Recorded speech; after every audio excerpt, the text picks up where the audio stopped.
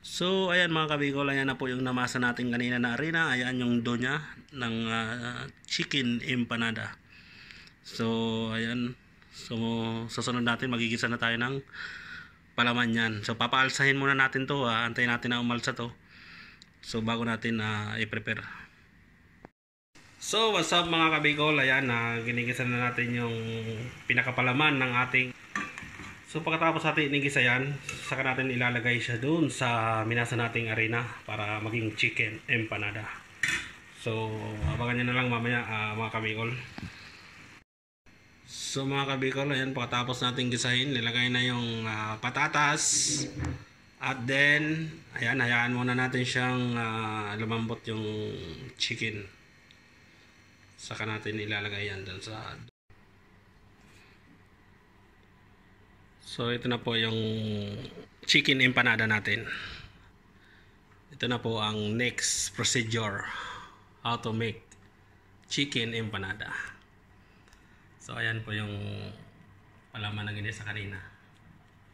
Asado ba to? Asado. Ah, chicken chicken asado empanada. So kailangan yupi-yupiin mo lang siya.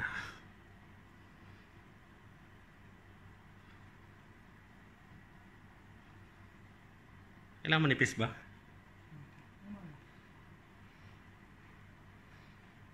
So kailangan papalaparin pala siya yan, yung napalapad po.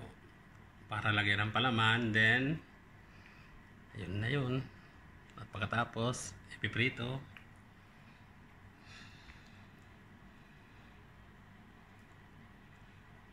So ayan, daming palaman. Kag- kagabi ba ganyan din? Oo. Ay, hindi. Mas malaki itong kutsara. Ah, ayos na yan. Nakita nila yan. So, ito matrabaho nga lang ganito. Kailangan pisil-pisilin pa yung dolo. Ano ang problema?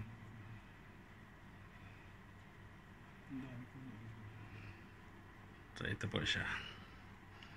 So, ayan na yun siya. Ayan na. Na, nahulma na. So, ma- so mga kabigol, ayan po. Uh, ipiprito na po yan. Ito na ang chicken empanada. Ito na po ang chicken empanada. Ayan na po, piniprito na. Ganito lang po kadali magawa ng chicken empanada.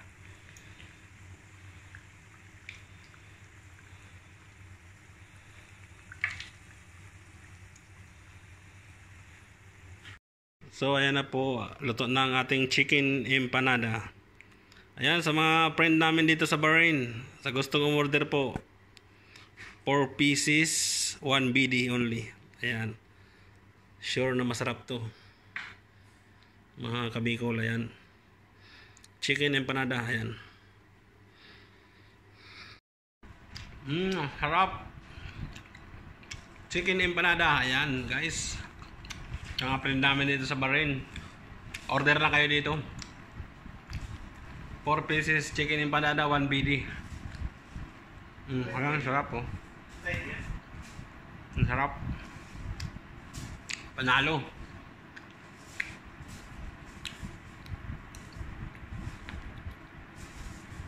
Mmm.